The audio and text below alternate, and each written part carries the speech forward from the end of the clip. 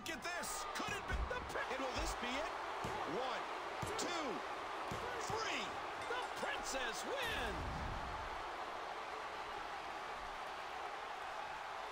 Oh, those WWE competitors tore this arena apart.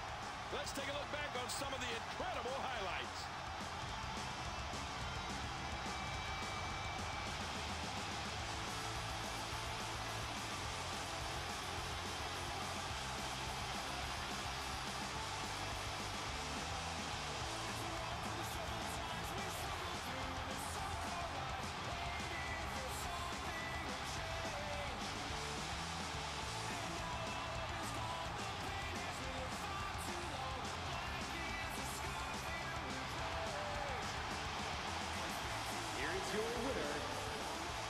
representing the Good Girls.